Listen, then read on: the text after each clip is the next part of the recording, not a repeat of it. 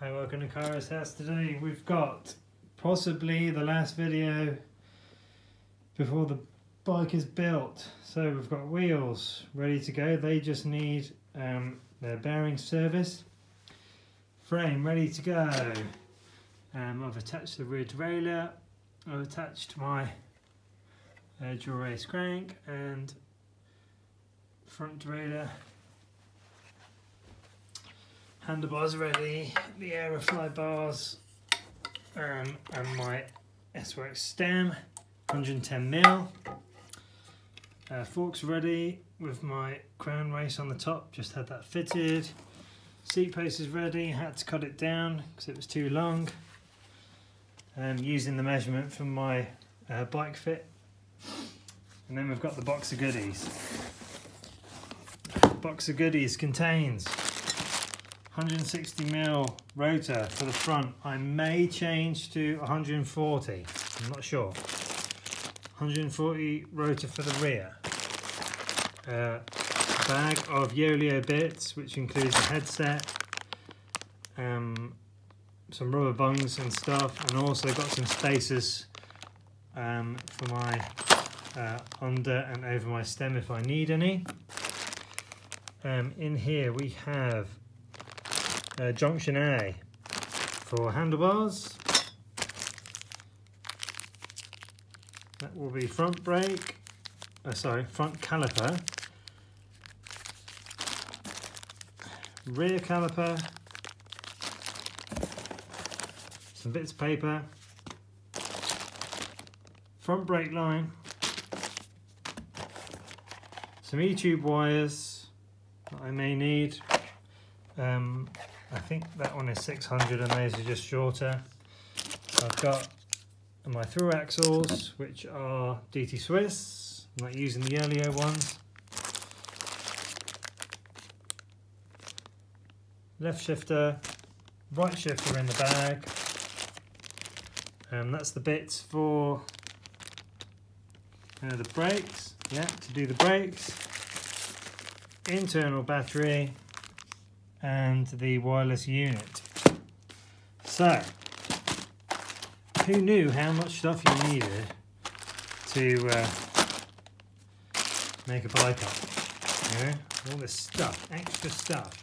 So what I might do um, now, not now, but in the uh, once I put all those goodies back in, what I'm going to do today is just uh, put the bike together, put everything on, and then we can have a, a pretty uh, uh, an overview of what it's going to look like.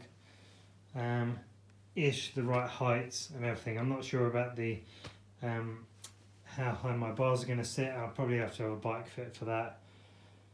Um, completely different geometry to my last bike. Um, so we'll put it together and then we will see what it looks like. Okay, so we're back. This is the first look at the bike. Okay, I haven't put the disc rotors on or the brakes. Um, I'm going to let the local bike shop do that. But this is what it's going to be looking like. I have to say, that looks awesome. Let's have a little look round. So, um, these um, DT Swiss uh, through axles have got a release uh, detachable head so it just looks like a bolt and both of them have. So we've got my 60 mil rims with the Grand Prix 4000 S2s as I said I'm going to have a service on the um, hubs there because I haven't touched the bearings since I got those probably two years ago. Um, there we go, seat post is cut down. It's not tight um, because I need to ask the bike shop to secure the battery in there. At the moment the cable's just loose inside the seat tube. And that is the uh, seat clamp which comes. Um, I'm riding a a power saddle 143 um, I moved from a Romin Evo then I tried a tube or toupee, however you want to say it. Not toupee, that would be stupid. but tube, and that didn't work. And this one, because it's short and wide, um, I found that worked for me quite well. So obviously it's it needs a clean up, and I'll do that when it gets back home from the bike shop. But um, we've got the we've got my sorry about the background. Um, we've got my stem here um, I just turned it over because I used to ride it up the other way just so I can kind of make it look like a Venge really. Because I quite like the Venge Vias but I'm not sure I've got enough money for that frame set at 2,000 or 3,000 pounds whatever it is. So um, from the front you can see the Aerofly bars. Let me just take that chair out of the way and my jacket, which I've just dropped on the floor. Let's just get that out of the way. So, from the front, I just like the Aerofly um, look. Yeah. I mean, they're not, nothing's um, threaded yet, as you can see. Um, all the cables are just wrapped around, but I like that. Uh, let's just straighten that up. I like that look kind of reminds me of the Venge. Sorry, I got the hiccups. The Venge. So um, um, that is how it's looking. It looks wonderful. I did sit on it just to see the the um, length. Yeah, I probably have to drop my seat back a little. I would say. Um, uh, just to get my knee over axle but um, not that much. I was quite surprised, you know, being it's an aero frame and I've, and the seat looks further forward. Sorry, the seat, the saddle looks further forward, or the uh, seat post than my um, Specialized Roubaix. But uh, that is looking nice. So obviously I'll have the levers out here, which will uh, give me some nice look. Oh, I need some bar tape. Yeah, I've got some. Forgot my bar tape. I've got some in the garage. I'll um, fit that. So, uh, clearance is that. Yeah, with the, with the Continental Grand Prix. Um, the guy from Oz Cycles um, said these are oval. So a 28 on another brand would probably fit, but um, yeah, we've probably got four mil there. Thinking four or five mil.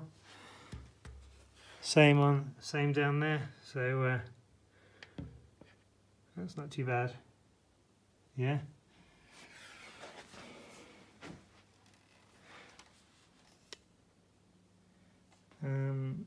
Yeah, that's not all set at the moment. When I lift it up, I know not everything's on it, but that's already lighter than my Specialized. So, um, yeah, I've just left this cable hanging off so the bike shop can uh, put something in that hole that comes out the back of the frame. Um, that's not lining up. You see, there's a it needs um it needs adjusting. See how it's out too much. Uh, but yes, I'm very happy with how it looks. And I think right after this video, it's going to the bike shop now because I'm on holiday next week. So I'll just say to uh, Steve down at the bike shop, whenever you've got time, just start putting that together. And then when it's finished, call me in for the uh, bike fit and then we can sort out this steerer tube and the height of the handlebars and um, because the last bike fit I had, I was using uh, mountain bike pedals and mountain bike shoes, but I've since moved to road. All those pedals need uh, service as well. I've never serviced them. They're a bit bindy. So, uh, yeah, they're going to need a service. So pedals will need the service and wheel, uh, wheel, wheel bearings, hub bearings. So, um, that is that lovely looking bike. Love the profile of it. Look how thin it is. It's ridiculous. Yeah. Love the little Venge, Venge-esque handlebars there. Right. So, that could be the final video before it's done. I'll um, try and release some more um, when I'm on holiday next week. So, like and subscribe if you like that video and leave some comments for me. It's good to chat to you all and thanks for following me on this journey. This has been a cool one. Take care, bye!